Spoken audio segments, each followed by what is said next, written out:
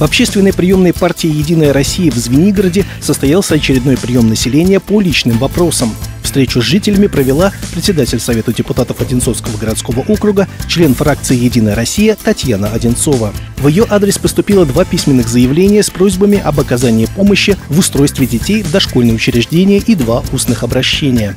Решение проблем граждан взято на депутатский контроль в рамках партийных проектов «Новая школа» и «Крепкая семья».